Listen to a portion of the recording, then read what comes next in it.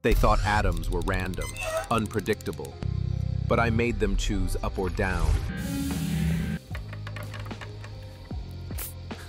Real men don't just smoke cigars, they split atoms and make physics their playground. Let's get started. They thought atoms were random, unpredictable, but I made them choose up or down. No middle, no excuses. This is quantum discipline. Silver atoms, obedient, predictable.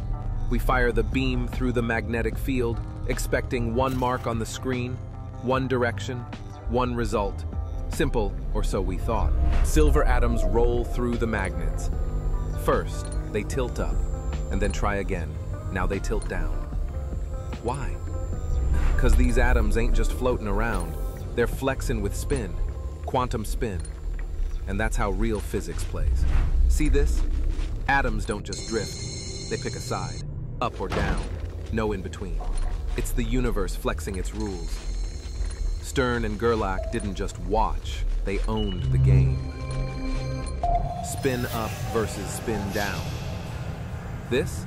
This is where physics went from guesswork to domination.